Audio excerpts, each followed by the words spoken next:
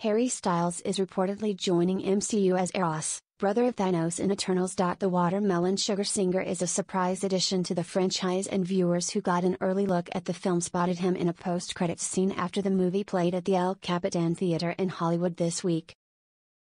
Big reveal from hashtag The Eternals premiere, Variety writer Matt Donnelly tweeted. Harry Styles has joined the MCU as Eros, brother of Thanos. Eros, according to Marvel, is able to psychically control people's emotions and pleasure centers. Styles, currently on his Love on Tour tour, will also star in Olivia Wilde's Don't Worry Darling, scheduled for a 2022 release. Eternals is directed by Chloe Zhao. The movie also stars Gemma Chan, Kumail Nanjiani, Salma Hayek, and Angelina Jolie. The movie is scheduled for release on November 5.